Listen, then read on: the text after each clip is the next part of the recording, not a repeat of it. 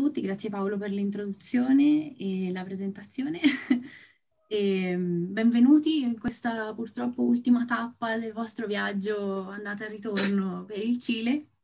Io sono molto contenta e onorata di accompagnarvi in quest'ultima tappa e spero di essere all'altezza diciamo, del, del viaggio e dell'importanza del viaggio e della bellezza del viaggio. Come diceva Paolo, io eh, mi chiamo Silvia, ho tradotto di Per le cicatrici e eh, appunto vivo qua a Talca in Cile, una città a circa tre ore a sud di Santiago dove sono arrivata quasi per caso. Io sono andata a Santiago per, per tradurre Per le cicatrici e un giorno sono finita qui perché facevano una mostra sulle opere di Lemebel e alla fine sono rimasta qua, cose della vita.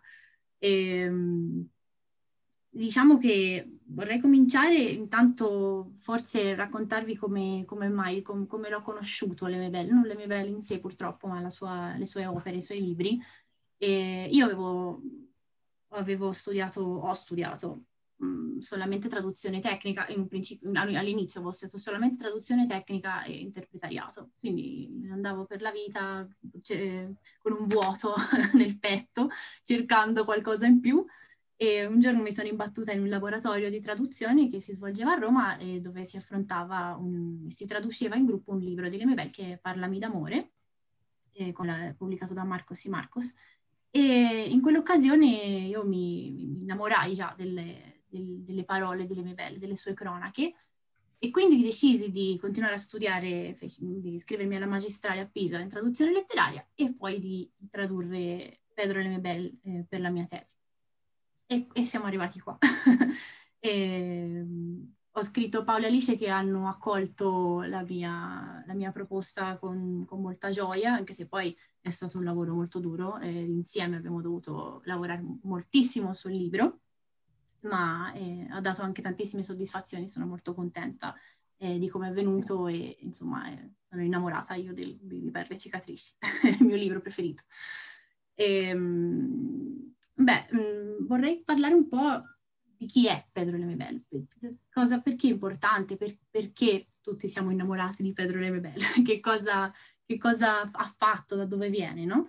Lui è nato negli anni 50 in un quartiere periferico di Santiago, è cresciuto, eh, è cresciuto per strada, in casa, con gli amici, una vita semplice, ha studiato in un, istituto tecnico, poi all'Università Storia dell'Arte ed è diventato professore.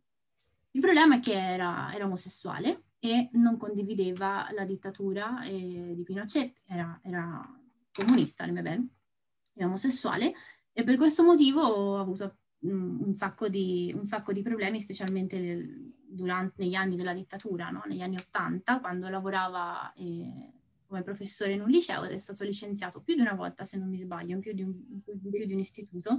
E qua eh, mi viene in mente una, doma- una, delle domande che sono state fatte da Onofrio, se non mi sbaglio, eh, se eh, l'Emebel ha avuto un po' come gli italiani Pasolini e Sciascia, lo stesso tipo di isolamento no? culturale da parte anche de- de- degli altri intellettuali o comunque eh, rispetto al momento in cui hanno vissuto. Sicuramente Lemebel ne ha sofferto più che altro, io direi, eh, prima di cominciare a scrivere, perché poi eh, sì, il suo riconoscimento a livello internazionale è arrivato tardi, ehm, soprattutto dopo la sua morte, ma in Cile, a Santiago, nel suo quartiere dove viveva, viveva alla Starria, una dopo, eh, già quando era già uno scrittore riconosciuto, era molto amato. Ma sì, negli anni Ottanta, quando... Eh, all'inizio, quando ha cominciato a scrivere, negli anni Ottanta, dopo essere stato licenziato nel suo lavoro, ha iniziato a scrivere avvicinandosi a dei laboratori letterari, sempre nei circoli intellettuali di sinistra, quindi pirata. E è stato pubblicato l'altro libro che abbiamo tradotto di Leme Bell con, con Edicola, che è Irraccontabili. È stato pubblicato in, su carta, carta da pacchi, praticamente, e veniva venduto per strada, e, e con delle bellissime illustrazioni, fra l'altro e quindi l'MML è un personaggio molto particolare. E, ha fatto, questa è solo una parte di tutte le cose che ha fatto. Nel, nell'86 è molto famoso questo episodio in cui eh, c'era una riunione nella Stazione Mapocho a Santiago di tutti i partiti, dei partiti di sinistra eh, che rifiutavano. Anche qua c'è il rifiuto, no? Eh, qui, anche qui l'Emebella ha sofferto diciamo, rifiuto da parte di, di, di, dei partiti di sinistra, del, Partito Comunista al quale voleva partecipare, che invece lo, lo, lo rifiutava per, per, il fatto che era omosessuale. E lui si è presentato truccato e con i tacchi alti, con una bella falce e martello qua dipinta sulla faccia, e, e, ha letto il suo manifesto, Hablo por mi differenza. Se volete potete trovare anche la traduzione sul, sul blog di Edicola, l'ho tradotto, l'ho tradotto per Edicola. E, e, questa cosa è rimasta nella storia del, del, Cile, tutti se lo ricordano, tutti lo sanno, tutti ne parlano. E nell'87, insieme a Francisco Casas, che è un altro scrittore cileno, adesso vive in Perù, avuto il piacere di conoscerlo anche lui eh, nel, quando sono venuta in Cile a Talca, quella famosa prima volta. E, fonda un collettivo artistico che si chiama Yeguas della, dell'Apocalipsis, e come dire cavalle dell'Apocalissi.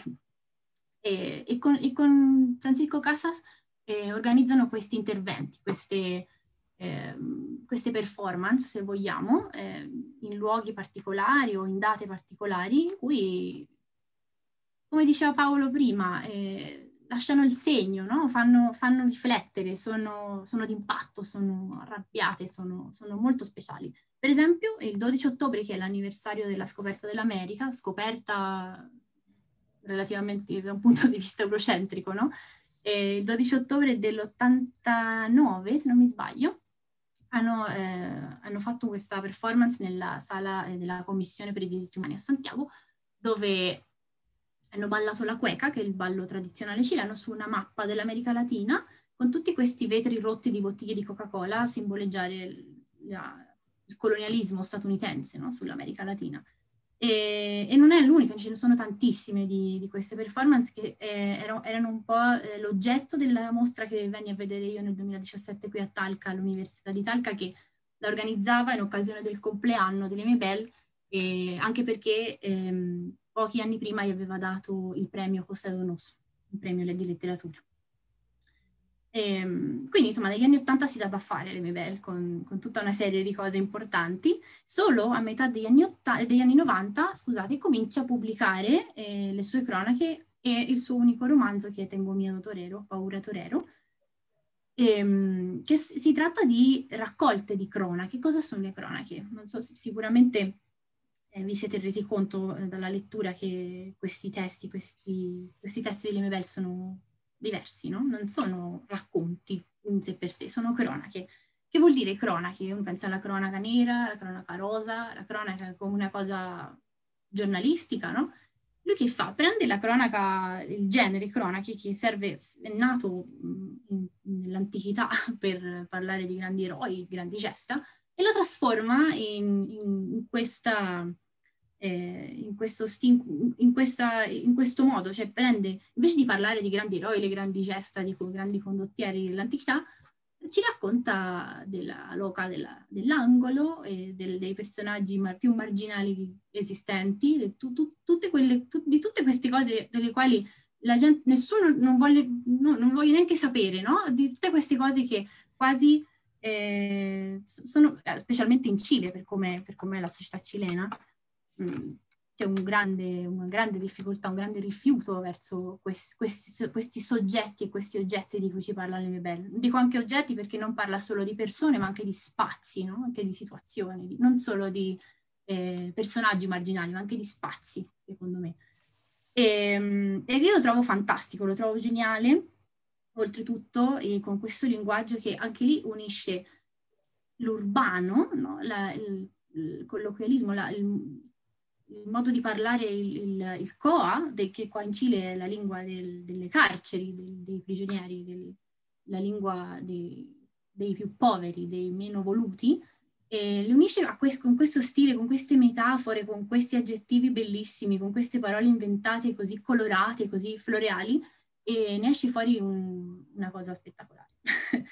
e, um, purtroppo eh, Pedro morto nel 2015 per un cancro alla laringe, quindi non sono riuscita a conoscerlo perché io sono venuta qua nel 2017, eh, però eh, conosco anche molte persone che sono state al suo funerale e ho visto un po', è stato bellissimo, il funerale secondo me ha rappresentato proprio l'importanza di Pedro, specialmente per, eh, per, per, molte, per molti ragazzi, anche giovani, moltissime persone.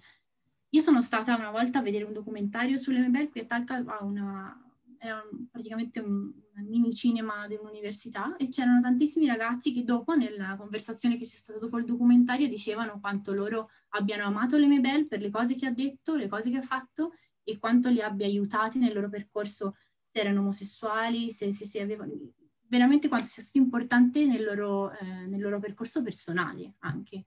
Quindi, niente, oltre a essere un grande scrittore, un grande artista, è anche un grande, è, è socialmente molto importante, ecco, diciamo.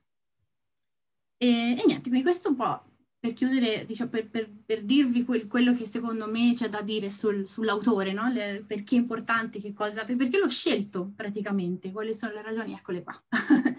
e perché, perché, sono, perché siamo, sono innamorata di Lemebel. E, ehm, e, adesso passerei invece a parlare un po' del libro, che siamo qua apposta, quindi eh, di Perle cicatrici. Cominciando eh, a dire perché ho scelto questo libro di tutte le, altri, le altre raccolte eh, che ci sono delle Mebel.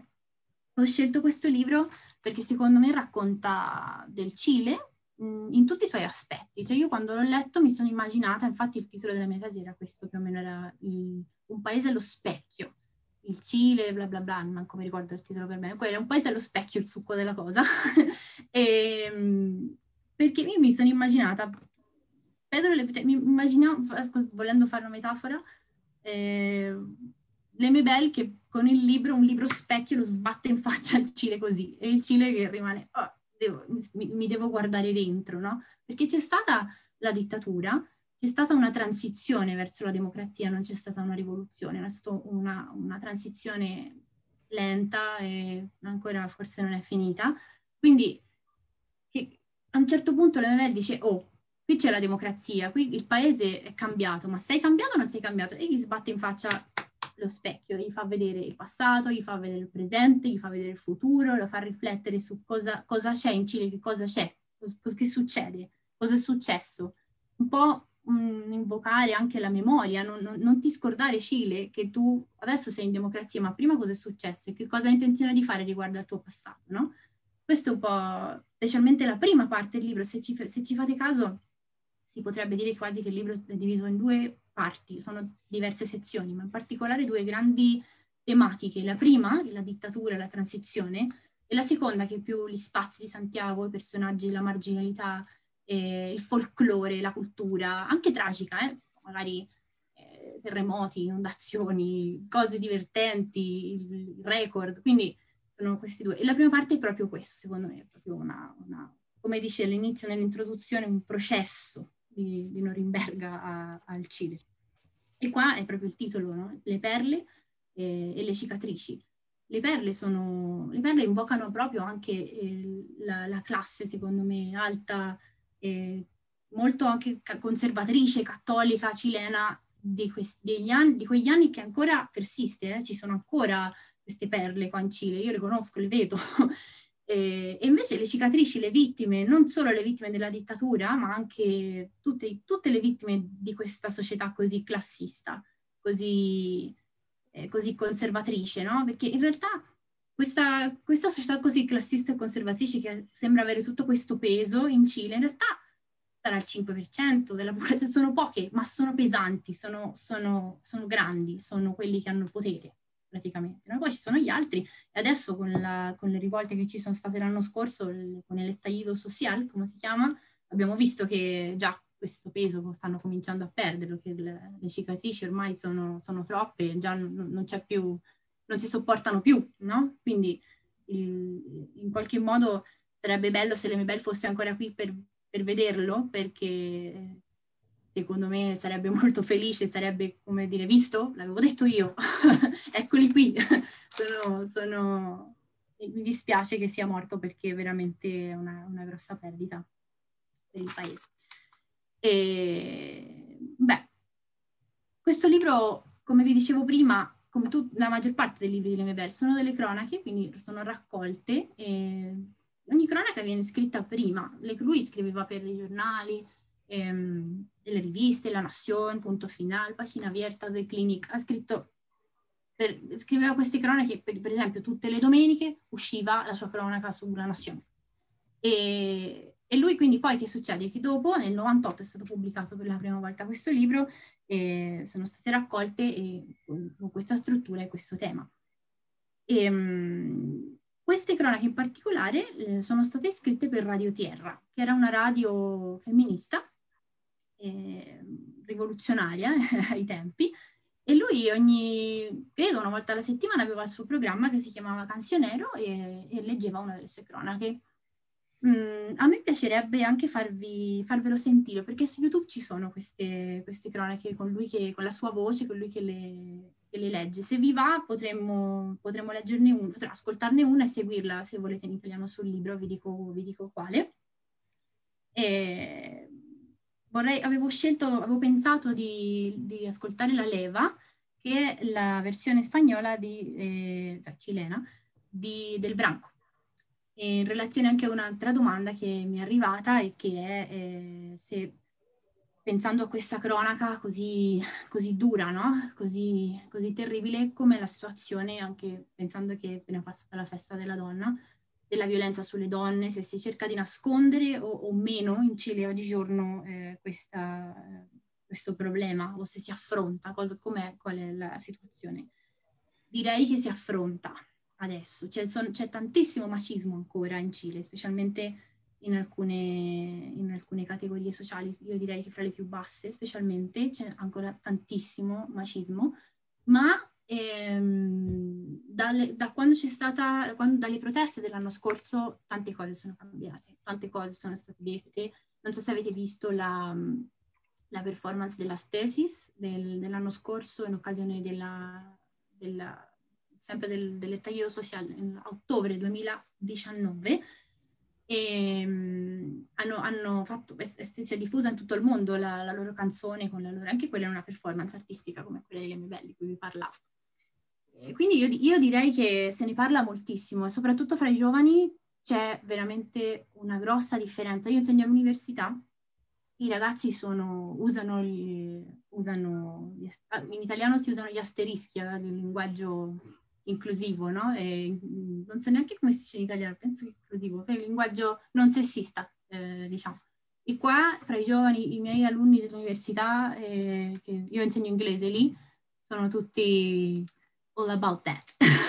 sì, scrivono con la, con la, con la, chiama, con la chiocciola, oppure hanno tutti i loro sistemi e vabbè, questo è, è, solamente è un sintomo, diciamo, che per loro è importante il, la parità di, genero, di genere e di, il, tema, il, il, discorso della violenza sulle donne, eccetera, eccetera. E sono molto aperti, l'omosessualità è vissuta in modo diverso, io lo vedo perché alcuni di loro ce l'ho su Instagram e sono baci fra ragazzi, baci fra ragazze, cioè proprio l'amore è vissuto in modo diverso. Io vedo una generazione molto libera, molto, molto più felice nonostante la pandemia e nonostante tutto è molto più, molto più libera. Quindi eh, io vorrei lasciare, vorrei, vorrei rispondere a questa domanda sulla, sulle, sulla violenza sulle donne con, una, con uno slancio di ottimismo, nonostante tutto, perché ci sono ancora moltissimi, moltissimi problemi, senz'altro. E, ehm, beh, quindi diciamo che prima di passare a guardare, a, a guardare, a ascoltare, barra guardare il eh, Pedro che ci legge la leva, Mm, vorrei dire che mh, mm, una cosa che riguardo la mia esperienza di traduzione del, del libro, quello che, che, io ho sentito, diciamo, quando l'ho tradotto per la prima volta, a parte una grossa difficoltà, eh, è stato che a volte era talmente totalizzante la lettura, talmente forte, per esempio quando ho letto la, il branco, la leva, non potevo, mi scordavo che stavo lavorando, mi, mi, facevo prendere dalla, dall'esperienza di lettura, no? E da lì, specialmente con tutti questi riferimenti, eh, a, magari non il branco, il branco è per il contenuto più che altro, ma altri, altri croniche, questi riferimenti a personaggi eh, culturali, della, eh, culturali, della cultura popolare cilena, cantanti, eh, presentatori, Don Francisco, mh, tutti questi personaggi che io non conoscevo all'inizio, E quindi niente, leggevo, ah, Don Francisco, vediamo, lo cercavo, ah, guarda il programma, e poi mi mandavano, e, poi, e quindi passavo ore a praticamente studiare la cultura popolare cilena e mi divertivo, mi sono divertita un sacco. Le, il, ho, ho, tradotto Di per le cicatrici ascoltando Los Prisioneros, eh, ma anche tutte le, tu, tutte le canzoni che ci sono nel libro le ascolto tutte più di una volta, ogni cronaca viene con la sua, con la sua canzone. Questo anche un po' in relazione forse al fatto che erano cronache per la radio, quindi pensate in un certo modo, no? E, e io l'ho trovato molto, molto bello e molto divertente, a volte anche molto tragico. Non tutte le canzoni sono belle e allegre, ci sono molte cronache tristi, ma anche per quello ancora più, sempre come, le, le, leggere e tradurre un libro così, molto, molto presa tutto il tempo. E, ehm, beh, come concludere, diciamo che eh, a parte, a, oltre a questo, io sono, avendo tradotto il libro a Santiago, eh, camminavo per la strada e c'era la, la, cronaca, per esempio, su... Io vivevo a Gnugnò, mh, la, la, Repubblica Livre la, di Gnugnò, dove c'è bar, la piazza Gnognoa, il bar La Lanzas, dove andavano intellettuali della whiskierda a sorseggiare il proprio whisky, a parlare dei loro ideali ormai abbandonati, con la loro cravatta e il loro lavoro ormai non più, con la loro barba tagliata e i capelli corti, no? E, e ho avuto l'opportunità di andarci, di, di vederlo, di, di di ordinare una, un bicchiere di, non di whisky, ma di, so, di, sangria o di borgogna, che è una specie di sangria con le fragole, e, e di tradurlo lì, la, la, stessa cronaca. Quindi io ero, leggevo una cosa nel libro, ma ero anche dentro il libro. Questo per me è stato bellissimo. E se volete, mh, sul blog di Edicola trovate un articolo che scrissi a proposito di questo, sulla mia esperienza di traduzione di Perci. E, niente, questo è tutto direi. Mi piacerebbe ved- adesso eh, condividervi la, ehm, la cronaca. Vediamo un po'. Eh. Ok. Perfetto, allora la leva è il branco che io adesso qua ho le bozze, ho la bozza, non ho il libro ufficiale finale, per cui la pagina non sono sicura che sia quella giusta. Comunque della se- da seconda sezione io ho pagina 51, è la seconda cronaca della seconda sezione. Non so se Paola ha il libro, ha il libro giusto con sé, comunque dovrebbe essere, dovrebbe essere per, per in lì, come si dice dalle mie parti, dalle mie altre parti toscane. Vediamo un po'. Pagina 40, grazie, grazie mille. Pagina 40. Bene, vediamo se ho condiviso anche l'audio, perché se non condivido l'audio non si sente niente. Ecco, vedi, non avevo condiviso il suono.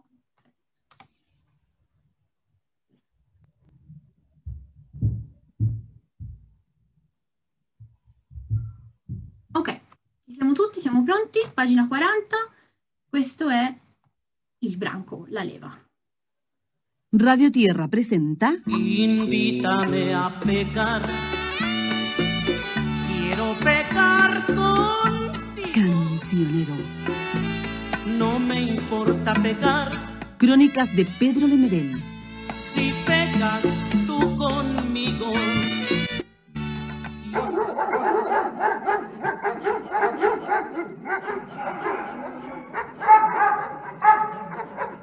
La leva.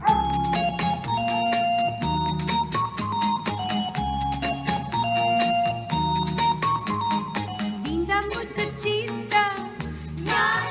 Al mirar la leva de perros babosos, encaramándose sobre la perra cansada, la quiltra flaca que ya no puede más, que se acurruca en un rincón para que la deje tranquila la jauría de hocicos y patas que la montan sin respiro, al captar esta escena, me acuerdo de aquella chica fresca que pasaba cada tarde con su cimbreado caminar.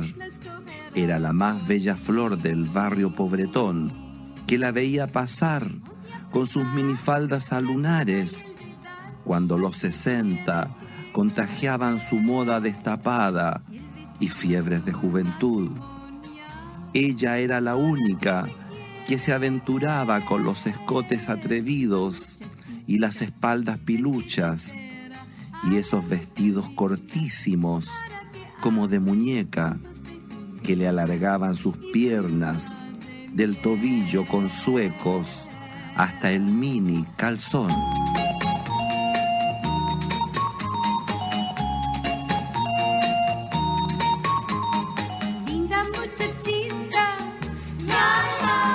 Aquellas tardes de calor, las viejas sentadas en las puertas se escandalizaban con su paseo, con su ingenua provocación a la patota de la esquina, siempre donde mismo, siempre hilando babas de machos burlescos, la patota del club deportivo, siempre dispuesta al chiflido, al mijita rica, al rosario de piropos groseros que la hacían sonrojarse, tropezar o apurar el paso, temerosa de esa calentura violenta que se protegía en el grupo.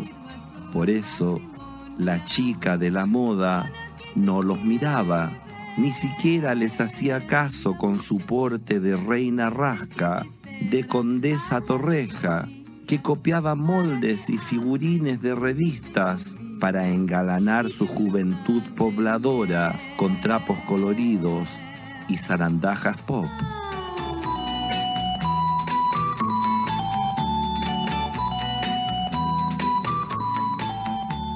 Tan creída la tonta, decían las cabras del barrio, picadas con la chica de la moda, que provocaba tanta envidiosa admiración. Parece puta, murmuraban riéndose cuando el grupo de la esquina la tapaba con besos y tallas. Y puede haber sido el calor de ese verano el detonante culpable de todo lo que pasó. Pudo ser un castigo social sobre alguien que sobresale de su medio, sobre la chica inocente que esa noche pasó tan tarde, tan oscura, la boca de la calle tenía sombras de lobo y curiosamente no se veía un alma cuando llegó a la esquina, cuando extrañada esperó que la barra le gritara algo, pero no escuchó ningún ruido y caminó como siempre, bordeando el tierral de la cancha de fútbol, cuando no alcanzó a gritar y unos tentáculos la agarraron desde las sombras y ahí mismo el golpe en la cabeza, ahí mismo el peso de varios cuerpos revolcándola en el suelo, rajándole la blusa, desnudándola entre todos, querían despedazarla con manoseos y agarrones desesperados.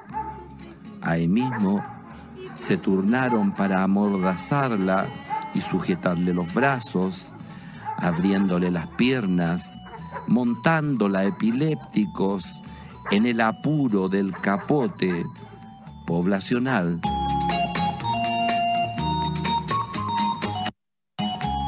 Già, cioè, ok. Eh, facciamo una pausa che è lunga e comunque era più che altro mi, mi interessava farvi sentire eh, la sua voce e, e, insomma è comunque un privilegio poter ancora sentire il programma canzionero che purtroppo non, si fa, non c'è più, non c'è più neanche la radio. E questo è un po' quello che diciamo avevo pensato eh, per l'incontro di oggi. Mi piacerebbe anche sapere da voi le vostre impressioni, eh, quello, le, le, cose che avete, che cosa vi ha trasmesso il libro eh, quando l'avete letto, se c'è una cronaca in particolare che vi è piaciuta o che non vi è piaciuta o che vi ha colpito, non so, cosa, cosa, se volete dire qualcosa, non so. Posso io? certo. Ciao, innanzitutto complimenti per la bellissima traduzione. E un altro racconto, mh, già è um, quello della um, Vittoria, della bambina, ecco, quello mi ha colpito tantissimo, forse addirittura più del brano. La piccola neonata desaparecida, insomma. E, ecco, volevo chiederti, mh, le tue impressioni, da, oltre che da appunto traduttrice, eh, da, da, donna più che altro, eh, eh, da futura madre, se non lo sei già, insomma, ecco, da futura madre su, su, questo terribile, su questo terribile, diciamo, racconto, eh, veramente da, da brividi questo, ancora di più del branco, secondo me, ecco perché d'altronde eh, si parla di una, di una, piccola scomparsa non si sa nemmeno la fine di questa vittoria che abbia fatto. Ecco. Non c'è né un corpicino da piangere eh, né eh, addirittura poi le, le, due mamme, se non sbaglio, una di origine cilena un, oppure il padre di origine cilena e la madre di origine argentina, non so, ha a che fare anche con l'Argentina, se non sì. sbaglio, con la dittatura... Mh, eh, degli anni 70 anche in Argentina dei militari, eh, una delle due si suicidò e l'altra non ebbe mai giustizia, quindi tragedia nella tragedia. Eh, e niente, una tua impressione su, su quest'altro racconto molto forte, oltre che sul branco. Poi in generale, eh, in generale ecco, volevo un po' riallacciarmi alla domanda che avevo fatto, alla riflessione, alla mia piccola riflessione che avevo fatto eh, per quanto riguarda appunto la censura. Eh, la censura, la censura ehm, io ho fatto appunto questo collegamento con l'Italia del dopoguerra, l'Italia democratica, bella, libera, eh, del boom economico del dopoguerra e sappiamo che anche in Italia appunto vigeva una sorta di censura, magari con modalità diverse, eh, con um, sofisticherie diverse, ma sappiamo benissimo che due grandi scrittori intellettuali che ho citato mh, mm, vennero di fatto censurati, in quanto appunto scrittori disorganici al potere, liberi. Eh, sì, sì, riguardo al... Adesso non ti, non ti vedo, non lo so, comunque mi senti? Sì, sì, sono qua. Non, eh. io, io, vi vedo, io vedo tutti. Ah. Vedo tutti Vabbè, allora continuo a parlare anche se non, se non ti vedo. Ah, okay. eh, eh, dicevo appunto scrittori disorganici che hanno subito uh, anch'essi appunto la censura non solo del potere, diciamo tra virgolette, ma anche della, diciamo, di quegli ambienti culturali da cui provenivano. Mm, basti pensare appunto i, i, famosi ragazzi di vita di Pasolini, è un romanzo censurato dalla stessa casa editrice, eh, così come gli scritti corsari o anche eh, dei libri di, di, Leonardo Sciascia che appunto erano spietate, eh, spietate critiche a, al potere inteso nelle sue varie sfaccettature, economico, ecclesiastico, finanziario e così via. Ecco. Quindi diciamo, ecco, la censura, eh, come l'inquisizione direi, non ha confini e opera, opera indipendentemente dai governi o dalle, o dai paesi, ecco, dai paesi da cui proviene. Solamente questo, ecco, grazie per il resto Silvia. Sì, eh, riguardo alla, al, brevemente sul discorso sulla censura, sì, mh, mm, non ho molto da aggiungere, sono, eh, è vero, è, è, sul manifesto eh, che scrive Lemebel quando lo legge all'incontro su... Ah, adesso ti rivedo, ecco. Meno male, mi ero preoccupato cose, problemi tecnici. Sì, eh, lui, lui, lui, cita Pasolini. Ah, addirittura, suo... ecco, questo non lo sì, sapevo. Ecco. Anche se dice non sono Pasolini che chiedo spiegazioni. Lui eh. si, si, pone, si, si, diciamo, si pone altro da Pasolini, ma eh, in realtà sono molto legati. Secondo me c'è questa connessione con, con Lemebel, senz'altro. Certo, senz'altro. Lemebel è molto spacciato, lui, io non... Anche Pasolini un po' era spacciato, sì, diciamo la verità.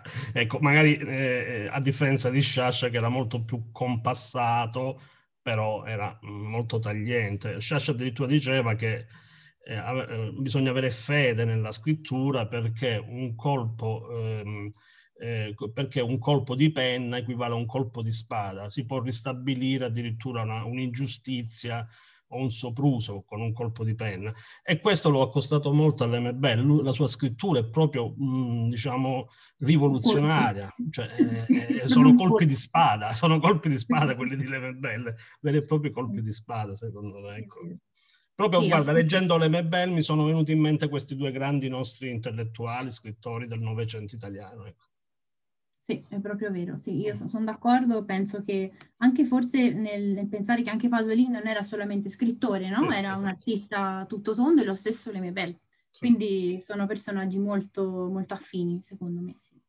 E rispetto alla censura, come dicevo prima, Le mie belle ha avuto, la, ha avuto un percorso forse un po' diverso, perché lui durante la dittatura pubblicava in modo pirata, no? Andava, I suoi libri li distribuivano per le strade, quindi era una cosa eh, callata, come si dice in spagnolo, nascosta, no?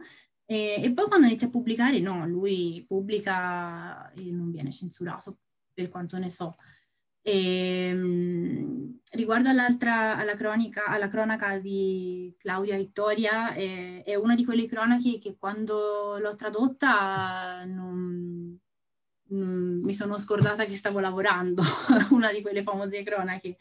Molte di queste, anche quella su Karin Aitel e anche quella, quella sull'informe Rettig, sull'operazione Albania, tutte queste cronache sono molto dure da leggere, molto dure da tradurre e da rileggere e mh, mm, mi hanno tutte causato un grosso eh, impatto emotivo. Mm, io sinceramente, io penso che questo sia, queste cronache sono la ragione principale, cioè che, quelle che mi hanno fatto pensare alle mie belle che mette lo specchio davanti al paese, no? davanti al Cile, perché sono proprio, oh, ma qua è successo questo e nessuno dice niente, nessuno ne parla più. Che fine ha fatto sta bambina, no? E, è proprio quello che fa le mie belle, e quindi è proprio questa l'importanza del libro, secondo me.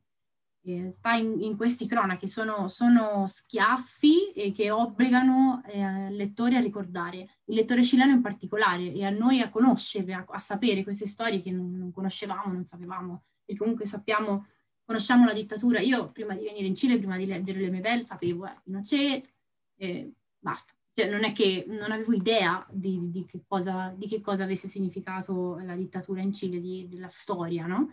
E, adesso, lo, adesso, che lo so, eh, sicuramente è anche, un, anche, una crescita personale, un, un modo per... Eh,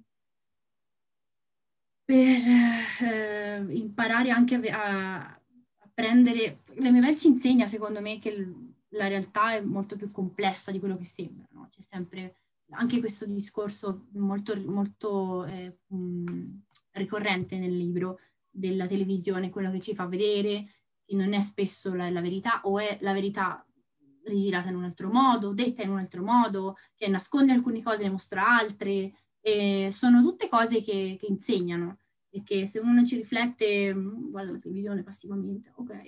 Okay, invece no, mm, beh, ci, fa, ci, fa, veramente riflettere su quello che ovviamente mm, eh, su, su, questi, anche, cioè che questo, eh, questo, questo discorso copre anche cose molto gravi, no? eh, che, che, durante la dittatura, ma anche dopo, non solo durante la dittatura, durante tutta la transizione, forse anche, forse anche durante, per esempio, è stato, è stato molto parlato di questo, di questo discorso in occasione delle proteste del 2019-2020, che ci sono ancora, e il ruolo no? del, delle notizie, della tele, di quello che si sa, quello che non si sa. Quindi sì, sì, questo è un po' Scusate, qualcuno che grida qui fuori, ma non credo che stia... Sì, stanno gridando qui fuori. Ok, scusate, c'è il giardiniere che viene a gridare, mi apre la porta, ma non mi serve il giardiniere. Quindi ecco, sì, questo, scusate l'interruzione, ma sì, queste sono le cronache che, ripeto, mi hanno fatto più riflettere, mi hanno fatto più male anche durante la lettura. E non so se qualcun altro voleva aggiungere qualcosa, magari sempre rispetto a questa stessa parte del libro e un altro, un altro commento.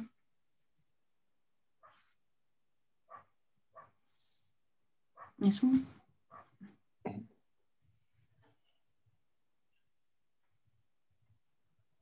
A me un'altra cronaca, cronaca, scusate, mi esce lo spagnolo continuamente, che mi è piaciuta molto e che mi ha fatto che mi ha intristito tantissimo è quella di, specialmente dopo le proteste dell'anno scorso, è stata quella di Ronald Wood, che era un alunno delle Mebelle che è morto nelle, durante le, una manifestazione durante la dittatura.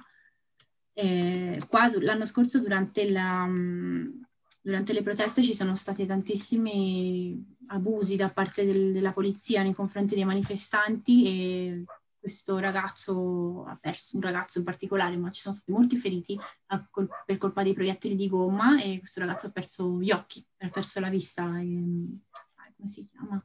Gustavo eh, Gatica. mi sfugge- Eh, Gatica, Gustavo Gatica, o no? O Sì. Gatica, non so. Gatica. E Gustavo, sì, e lui è diventato un simbolo della- delle manifestazioni dell'anno scorso. Ho ripensato molto alla- a Ronald Wood in, in questa occasione perché sono due ragazzi giovani, uno ha perso la vita purtroppo e l'altro ha perso la vista. La fortuna dell'altro è che, la fortuna è che nella sua perdita è diventato un grande, un importantissimo simbolo di quello che è successo l'anno scorso. Quindi, eh, almeno, almeno questo è, purtroppo è così, l'unico lato, l'unico lato positivo. Diciamo che la sua perdita è servita a una causa, a una causa grande, invece il povero Ronald. Beh, Lemebel con le sue cronache dà voce no, a questi personaggi sono, ai, quali è stata tolta, con la morte, con la tortura, con la, con la sparizione, con- lui dà voce a queste persone che l'hanno persa e gli dà un nuovo significato, dà un'importanza alla morte di Ronald Wood e ce la fa, ce la fa conoscere anche a noi che viviamo lontano, che abbiamo un'altra nostra vita, non c'entra niente e adesso c'entra un po', quindi è una cosa bella. La mia domanda sarebbe più che altro sulla riconciliazione del, nel dopo dittatura. Dato che è stata una transizione, non c'è stato un movimento, diciamo, rivoluzionario o comunque cruento, il problema è fare i conti con la dittatura. E in Argentina con alterne vicende hanno poi fatto una serie e di leggi e di atti anche effettivi. Adesso ovviamente non mi viene in mente il nome di quel parco che hanno riadattato dalla, da una delle caserme usate dalla polizia.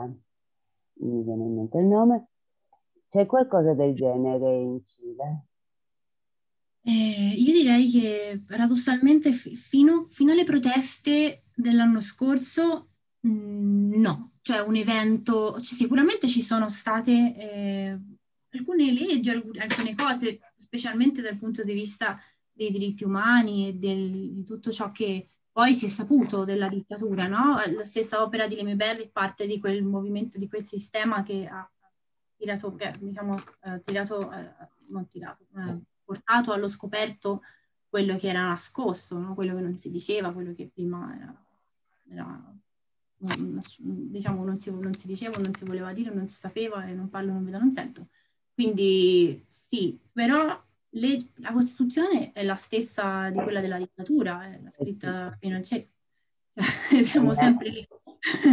Quindi anche, anche la, la- la politica economica è la stessa. Mm, Non è che sia cambiata un granché. Destra o sinistra che vogliamo, qui il capitalismo estremo è il capitalismo estremo. Non, ha- non- non ci sono così tante differenze, a parte che adesso, vabbè, cioè, a, par- a parte la tortura, Che non ti ammazzano per strada, vabbè, sì. sì, non è che sia cambiato molto. Sì, sì. Però ci sono, c'è tutta una... secondo me il, mov- il movimento di proteste che è iniziato l'anno, l'anno scorso è proprio il sintomo di questa cosa, che la gente dice, ma qui siamo in democrazia, ma, ma non è cambiato niente, noi vogliamo un paese diverso, no? Vogliamo chiudere con il passato, e andare avanti, ricordare, c'è il Museo della Memoria, ci sono, dal punto, da quel punto di vista sì, però insomma sono cambiamenti, cambi- i cambiamenti sono stati pochi, quindi eh, io credo che una delle principali cause, anche del, del- del- perché c'è stata la rivolta sociale, perché la gente eh, è stufa della- del- di, quest- di questa, di questa società classista, di tutta questa differenza tra i poveri e i ricchi, no? di questo 5% della popolazione che vive da re con l'elicottero e gli altri che stiamo- stanno qua a, a mettere due Lucas una dietro in, fila, una dietro l'altra per arrivare a fine mese e pagare tutto, tutto privato, la salute, eh, il sistema delle pensioni, tutto privato. Quindi sì, ci sono... Centralizzato e privato per quanto ne so. Sì, sì. Quindi Io- sì, è- Ehm, se posso aggiungere, non è finita, non è la stessa situazione dell'Argentina, anche per un, ehm, per un modo d'essere della politica cilena, soprattutto della destra della, della politica cilena, che è questo classismo estremo che porta alla superiorità e a, e a non prendere assolutamente in considerazione per quanto possa essere diverso il tuo interlocutore, è sempre un essere umano. La protesta sociale è scoppiata giustamente per tutti i temi che, diceva, che ci raccontava Silvia eh, prima, ma anche per degli atteggiamenti verbali della politica. Quando il ministro di salute, eh, invece di dire abbiamo un problema con i pronto soccorsi, eh, dice ma perché i vecchi vanno lì a fare attività sociali nei pronto soccorsi? Eh, quando il ministro dei trasporti dice invece di dire sì è vero progressivamente la metropolitana sta aumentando di tot pesos eh, perché abbiamo delle necessità dice eh, se volete pagare di meno svegliatevi prima e, e prendete la fascia oraria dove il biglietto costa di meno. E questo atteggiamento si eh, porta avanti da, dalla, forse anche da prima della dittatura, da quando gli ex amici di, Pinochet, di Allende l'hanno tradito, da quando Pinochet ha, ha favorito questo atteggiamento da, in Cile si dice da, da padron de fundo, da, da un grande possidente terreno. Di, di, la tifondista. La tifondista, capito? Questo sì, beh, il Cile ha tutta una storia di governi di destra sì. eh, antecedenti ad Allende di una certa lunghezza quantomeno. Se non ci fosse stato Allende, il Cile è un paese medievale. estremamente di destra.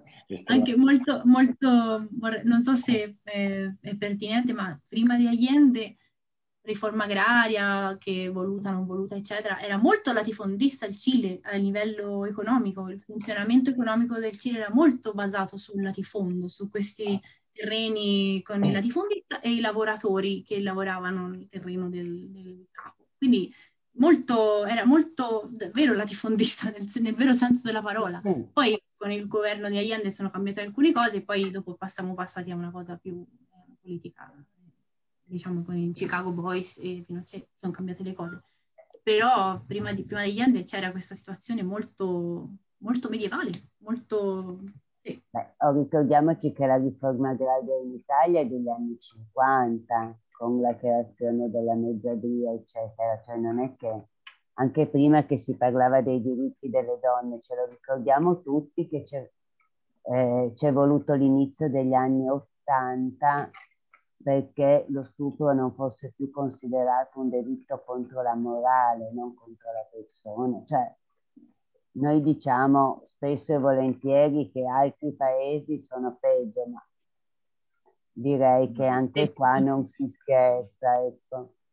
Quello, quello senza dubbio. Non, poi nella complessità di questi argomenti è, è, sempre triste riflettere fino in fondo. In Cile l'aborto non è legale, è legale solamente per, per tre cause. cause e, e nonostante tutto queste, la legalità è arrivata da un paio d'anni ed è, continua a essere messa in discussione da quest, da, dalla destra che, che, vive dei voti di, dei cattolici, degli evangelici, di, di, di tutti quei movimenti, niente contro le, le, credenze personali, è solo un discorso di matematica, eh, la raccolta di voti alla fine, lo sappiamo tutti però purtroppo dietro questa matematica c'è sempre una, una concezione della vita che per cause economiche viene imposta eh, senza poter controbattere.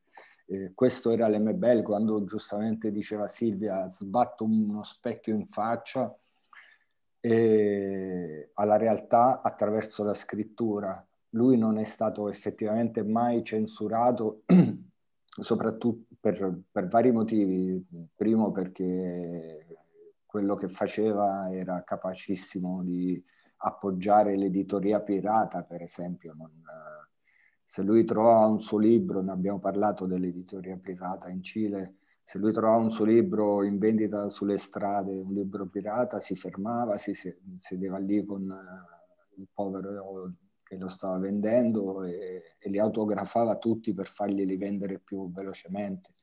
Non è questo, questo atteggiamento che può, essere, può sembrare eccentrico, alla fine rappresenta il, la sua intenzione di, e la sua coerenza di andare contro questo schema di pensiero legato all'economia. Eh, non è stato censurato, non è Pasolini, perché l'Emebel, nonostante anche lui venisse da un quartiere eh, marginale, diciamo, che forse è molto più marginale di quello, conoscendolo, non è una lotta di quartieri, però molto più marginale di quello di Pasolini, non aveva problemi a, a, trattare qualsiasi tipo di autorità secondo quello che gli passava per, il, per la testa, insomma. Io la, ho conosciuto le Mebelle quando ho lavorato come fotografo alla Nazione e mi odiava perché mi diceva Tano Culeao tu parli poco, significa italiano, italiano figlio di puttana parli molto poco, quindi non mi fido di te, però no, odiava è un termine eccessivo. E, e una volta li ho, ho, visto sputare sulle scarpe al, al, nuovo ministro della cultura, che è un ex attore di, di telenovele, eh, che si è avvicinato a lui all'inaugurazione di una mostra al Museo Nazionale di Belle Artes, di Belle Arti, solamente per farsi, evidentemente per farsi fotografare con, con il personaggio amato dal popolo e, e l'ha guardato, gli ha detto semplicemente, l'ha chiamato per nome Luciano e gli ha sputato sulle scarpe. E non sto né apprezzando né giudicando quello che ha fatto, personalmente sono d'accordo con lui, però questo non ha importanza.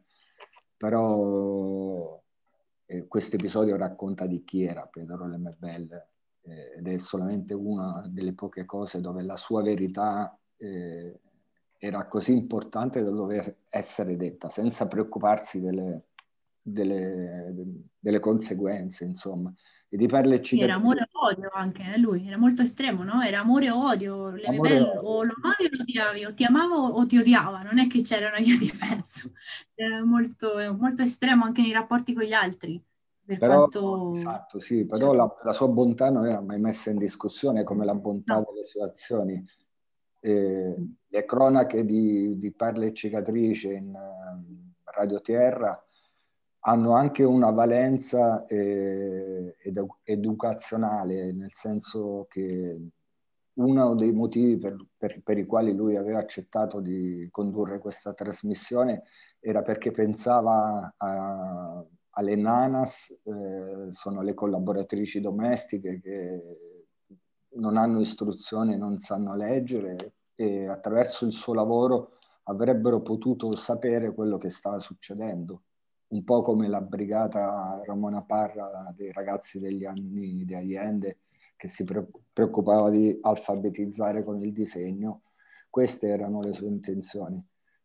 E, e niente, era solo per aggiungere un, piccola, un piccolo appunto a quello che diceva prima Onofrio e, e, alla risposta di Silvia e anche, e anche all'osservazione di Eva. È, una, è, un mondo molto complesso, Bell, però che si riassume con... Eh, la... Difficile da riassumere. sì, secondo me si riassume con il difficile da riassumere perché il suo concetto di verità è quello che ci spaventa a noi comuni mortali. Io ho sempre detto che per tradurre le mie bisogna conoscere tante parolacce, non tanto perché servono nella, nella scrittura, ma perché c'è bisogno di dirle mentre uno traduce, nel senso che è, è veramente un lavoro difficile, ma allo stesso tempo facile. Non so, è, per me è molto difficile da spiegare.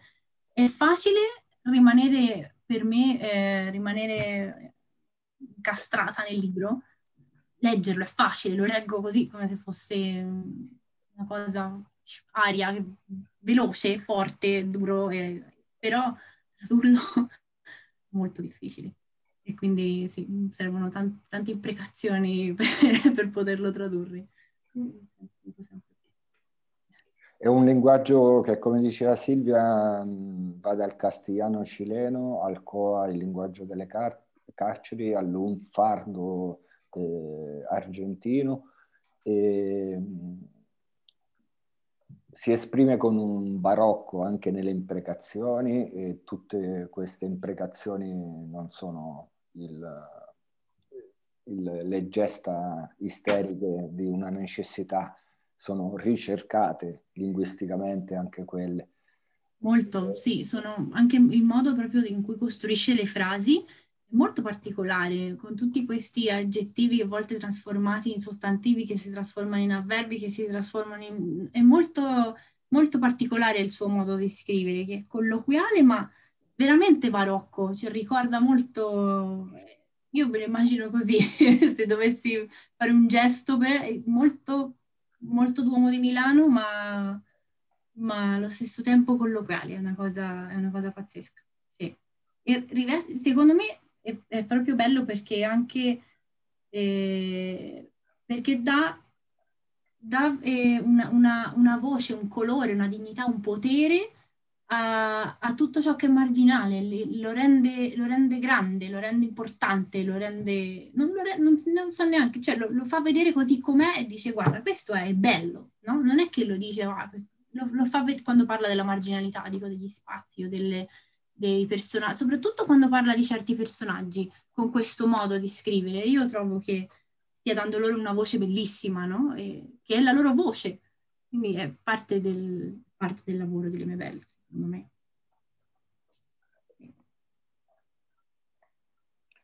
Qualcun altro ha curiosità? Una piccola domanda pure. Ecco, abbiamo parlato un po' del ruolo degli intellettuali cileni, quantomeno ambiguo, se non addirittura di collaborazione col regime.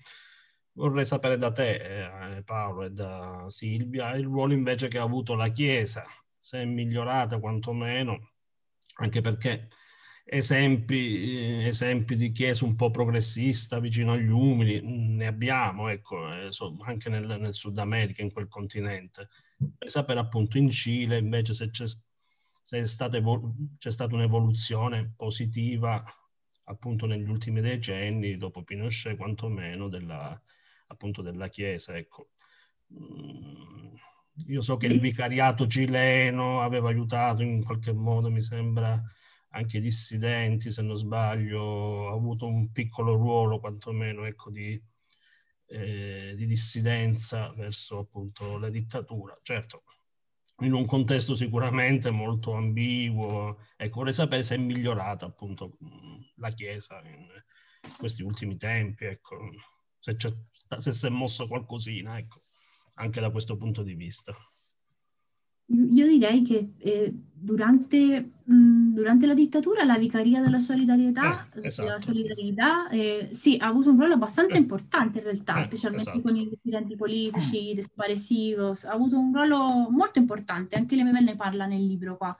E allo stesso, allo stesso tempo però c'è il prete della tele che sta, sta lì a parlare di, di, di dei, dei, comunisti che si mangiano i bambini in televisione e quindi già c'è, c'è, una, c'è una, una, grande differenza tra questo e poi il lavoro della Vicaria della Solidarietà, che è stato comunque molto importante. Oggi la Chiesa, io direi che beh, mio, la mia esperienza personale è che quando si parla di Chiesa in Cile oggigiorno se ne parla perché c'è stato un caso di abuso eh, o di violenza minorile quindi è, è un po' la, purtroppo l'impressione che, che, ho, anche legato a, molto al, al, discorso del Sename, che è eh, l'istituzione dello Stato che si occupa dei bambini orfani o, dico, senza risorse, o diciamo si, tratta un po' eh, l'assistenza sociale, no? E, è, è, legata anche alla, alla Chiesa e, e è, ci sono tantissime storie non belle Mm, se è migliorata non lo so, mm. però sì, sicuramente... Non ti vedo convinto. No, sicuramente la, eh, mi sento di dire che mh, forse ha perso, c'è sempre questa divisione, no? Cioè, c'è questa, questa parte della società molto cattolica, mh, conservatrice cattolica, che sta, tira sempre da quel lato, però, come dicevo prima, le nuove generazioni sono diverse, hanno un modo diverso di, di vivere anche la religiosità, anche se sono cattolici o non cattolici, evangelici, ci sono molte, molte religioni diverse, qui c'è moltissimi evangelici, per esempio, eccetera, non, non c'è solo cattolici. E, quindi c'è, c'è, un barlume di speranza, però io, io, sono poco, io sono personalmente poco religiosa, quindi non, non saprei, diciamo. Però sì, quando, io se, quando sento parlare di, di preti, eh, molto spesso vengono alla tele con una notizia non, non bella. Quindi la mia non, domanda non, non era da un punto di vista religioso, chiaramente. No, no, lo so, lo so. No, eh, dico, non, non ne so molto, ecco, ecco. diciamo, quello volevo dire. Eh, però sì, questo... Perché so appunto la Chiesa tante volte ha anche un'anima progressista, insomma, ecco, non, eh, non è solo... quando, ecco. quando, è venuto il Papa in, in, Cile, durante la dittatura, sono cambiati anche un po'. Il Papa ha avuto un'influenza positiva, tra mm. virgolette, rispetto alle... Mh, mm, Uh, almeno al trattamento dei, prigionieri e il discorso delle torture. Eh. È stato il Papa quando è venuto, dopo che è venuto il Papa durante la dittatura, è cambiato un po' l'atteggiamento, il modo di, di, di, trattare, di trattare le persone rispetto ai diritti umani, però mm, siamo sempre lì, non è che insomma stiamo parlando di, grosse, di grossi cambiamenti, la dittatura è, la dittatura è rimasta. Comunque c'è stato un cambiamento e, la, e, si sottolinea l'importanza della Vicaria della Solidarietà che ha fatto un, un gran lavoro in realtà in Cile eh, specialmente nelle, per le famiglie dei desaparecidos, per aiutarli a ritrovare, sapere che era successo, a cercare i loro, i loro familiari. Sì, la, la, vicaria che era comandata da un cardinale, eh, il cardinale Enriquez, eh, è stato un organo molto importante eh, durante il tempo della dittatura. Nel periodo della transizione c'è stata una figura che è morta l'anno scorso, eh, Mariano Puga, eh, un prete, il prete del popolo, lo chiamavano tutti quanti così, eh, una persona vicino, davvero vicina agli umili, agli ultimi, agli emarginati. E insieme a lui un altro, un altro prete, chiedo scusa non mi ricordo il nome perché eh, io sono di un'altra parrocchia in questi termini, eh, però sono sempre, sono sempre casi rari, insomma non, non, ho niente contro la Chiesa Cattolica, però ho problemi quando sì effettivamente ci sono tanti casi di pedofilia, eh, ci sono casi eh, di indifferenza verso eh, eh, situazioni sociali vicini alla Chiesa e, e penso che, che è un organo ormai anacronistico rispetto alla società, appartiene a un'elite eh, eh, che il discorso della fede a parte eh, continua a frequentare certi ambienti un po' per, per obbligo morale tramandato da generazioni. Così si vive la, la religione in Cile che è molto presente senza dubbio, eh, però la popolazione cilena è fatta di altre forme di credenze che sono legate a, alle culture ancestrali dei, Mar- dei, Mapuche, alla relazione con la terra eh, e queste vengono messe solamente vengono messe in secondo piano, ma ma si parla solo della religione cattolica quando gran parte della popolazione vive a stretto contatto con, col concetto di natura e col fatto che questa natura sia provvisoria per il fatto che il Cile è terra di terremoti eh, sotto tutti i punti di vista, dal mare, dai vulcani e dalla terra stessa. Quindi questa concezione di appartenenza alla terra che che dà da vivere e che la può levare da un momento a un altro appartiene a grande parte della popolazione ed è lì che probabilmente ci si aiuta molto di più l'uno con gli altri rispetto a, al concetto canonico di religione cattolica.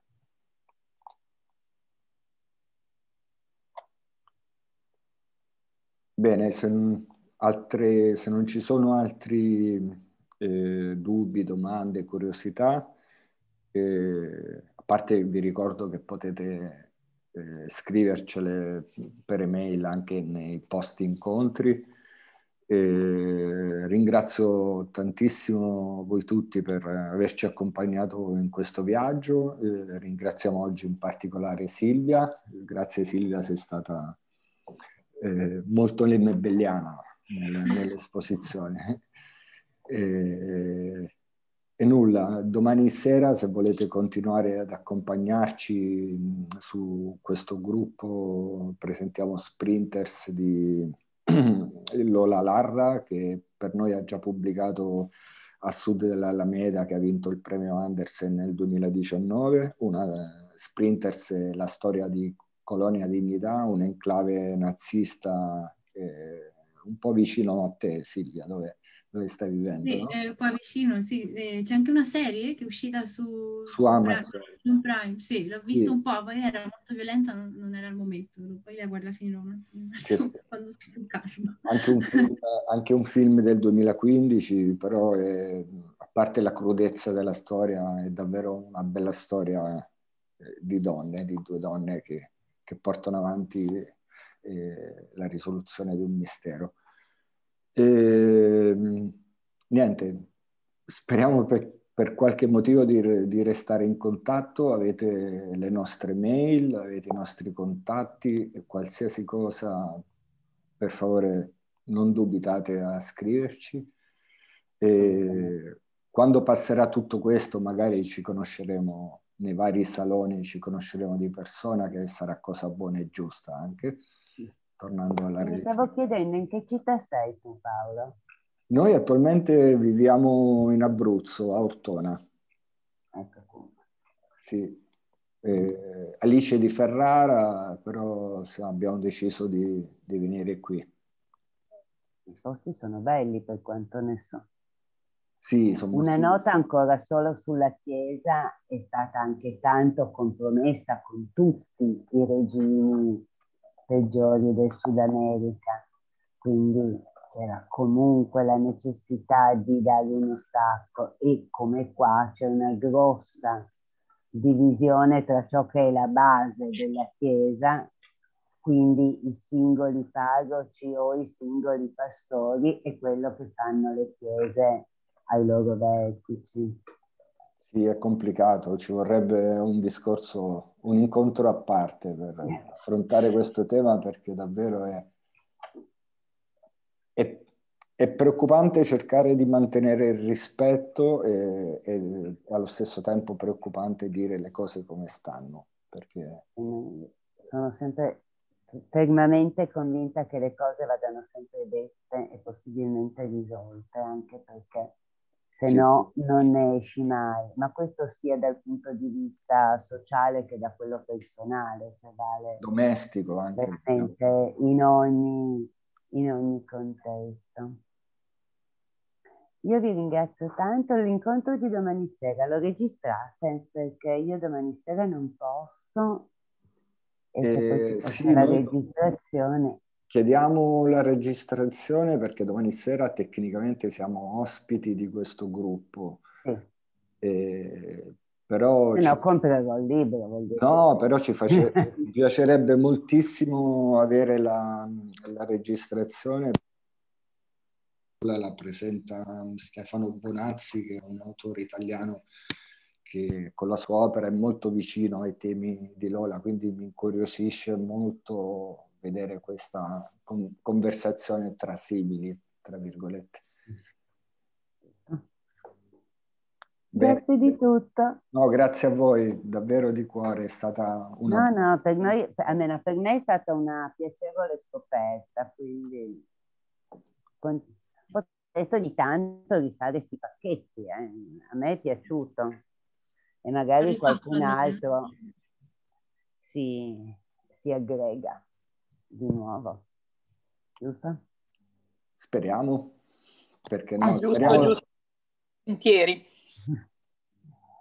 Ok, Un saluto a tutti. Un saluto a grazie. tutti. Eh. A tutti. Arrivederci. Ciao. Ciao. Grazie. Ciao. Sì, arrivederci. Buon rientro. Ciao Silvietta, grazie. Ciao.